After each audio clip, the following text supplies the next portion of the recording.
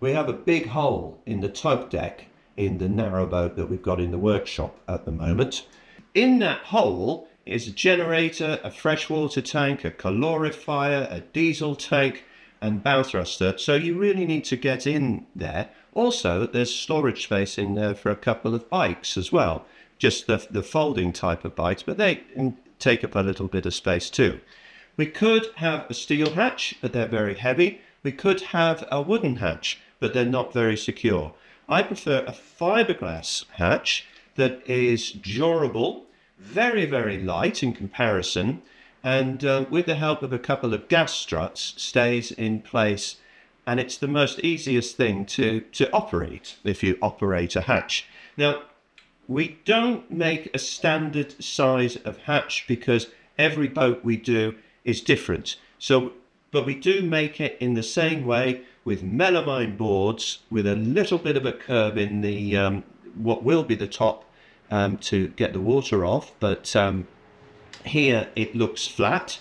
And how we make it is that from the melamine boards, we go through the post process with the, the waxing, then we put gel coat on it, then we put this backing cloth on, which is, oh, yes, that's the backing cloth, which is very, very thin, which enables us to, to fold it really well into the corners.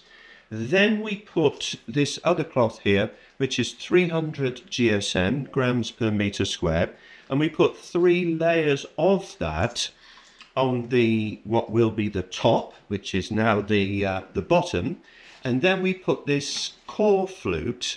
Um, it's a special fiberglass product that um, that gives us a, a, a, distance. It's making it like an, an I-beam there. And then we repeat what's here, um, what we've done on the top surface there. So one layer of backing and then three layers of 300 GSM. It's called backing, but really it's 100 GSM cloth as well. Now you'll see some holes in here now that's a bit of plywood because the the lock for the hatch is going to go there. That's, those are things that are bolted together and they don't they just have to have a, a solid space between them. And then here, down here, you can see one, two, three. In there's an aluminium plate that we use to screw the hinges in to give us that extra strength there. And um, now, um, my cameraman, Alec, is going to do the uh, the fiberglassing and he's going to put a coat of backing there so it's not just me talking. Uh, cue music.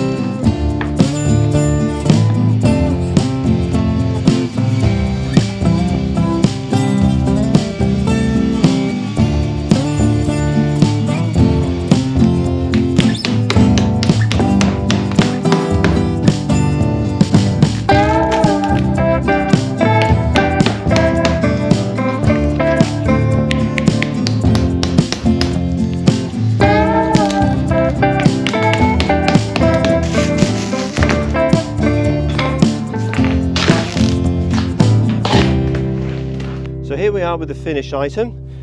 Fiberglass hatch here, and as you can see, it's pretty rigid. Um, certainly feels good. Um, stainless steel hinges at the front, and a lockable hatch here. And then we turn this, flip that, and then hey presto, it comes up on two gas struts. Now ordinarily you wouldn't need two gas struts, one would be fine, but because this is a large hatch, that's what um, we, we recommend. That's the underside of the hatch and then to close it, straight down like that. The other thing I'd quite like to mention is the fact that when it's up, it stays up. So if the wind comes along and blows it quite hard, it's not going to come down on your head. So that's it. I hope you have enjoyed watching how to build a fiberglass hatch and maybe you'll even put one on your boat too. Thank you.